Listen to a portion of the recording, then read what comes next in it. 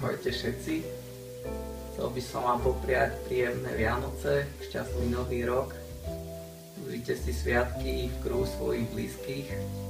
Tvrdo na sebe makajte a do nového roku všetko dobré a veľa úspechov. Čaute.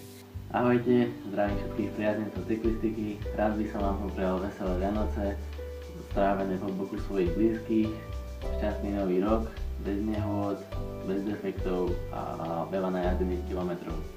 Ideme sa na cestách. Daj Boh šťastia cyklistike, všetkým cyklistom, nech nám všetko stále slúži celý ďalší rok. Ďarky oni prešlapú, nohami sa našlapú. Daj nám zdravia, dobré kluby a aj dobrých trénerov. Krásne sviatky a šťastný nový rok.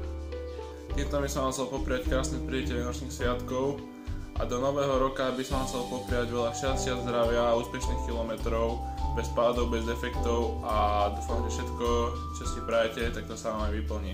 Ahojte. Všetkým prázdnicom cyklistiky prajem veselé Vianoce a šťastný nový rok a veľa šťastných kilometrov do ďalšieho roka 2017. Zdravím všetkých priaznicov cyklistiky, želám vám krásne prežitie Vianočných sviatkov v kruhu vašich najbližších a rodiny a chcem vám poprieť všetko dobré do nového roka.